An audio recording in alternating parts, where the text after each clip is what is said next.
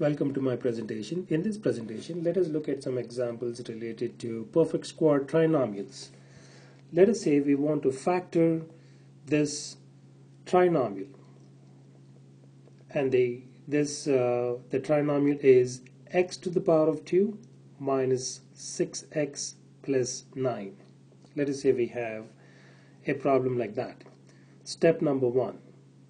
In here, we can write this one as x to the power of 2 minus 2 times 3x plus 3 raised to the power of 2. This is of the form a squared minus 2ab plus b squared. This is of the form a squared minus 2ab plus b squared. And therefore, if we have a trinomial of this type, we can write this one as a minus b, the whole thing raised to the power of 2. Therefore, we can write this as, we can write this as x minus 3, this whole thing raised to the power of 2.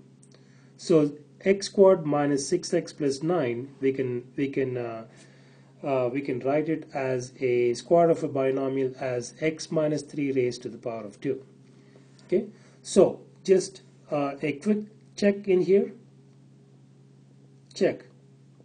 If I if I were to take x minus 3 to the power of 2 and expand it out this is the way we want to expand it. Um, x minus 3 times x minus 3 I'm going to do the long way and I'm also going to show you an easier way to, to do the expansion.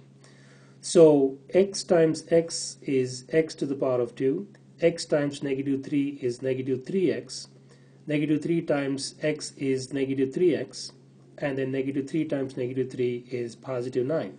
So therefore this is going to be x squared minus 6x plus 9. So x minus 3 raised to the power of 2 is x squared minus 6x plus 9 and that is exactly what we have. This is one way of looking at it. There is an easier way of uh, solving this problem and I'm going to show you that in this step number 2.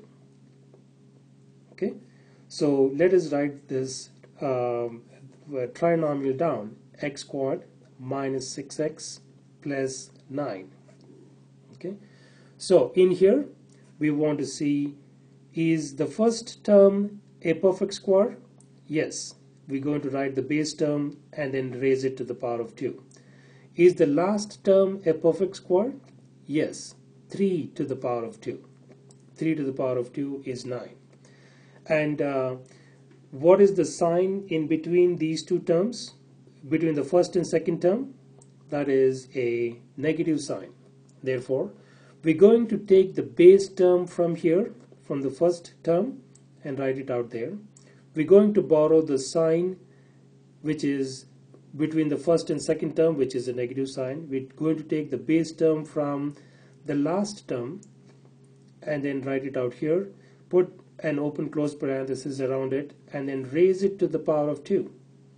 Raise it to the power of 2. And that is exactly what we did in in the in the previous step but this is a lot more easier this is this absolutely does not require any brain work at all. You can just ident I mean recognize the base term of the first term recognize the base term of the last term just borrow the sign between the first and second term and then put them in parentheses and raise it to the power of 2 and you're done. X minus 3 raised to the power of 2 is is the um, is the square of the binomial of the uh, uh, and then the trinomial uh, which which that represents is x squared minus 6x plus 9 okay?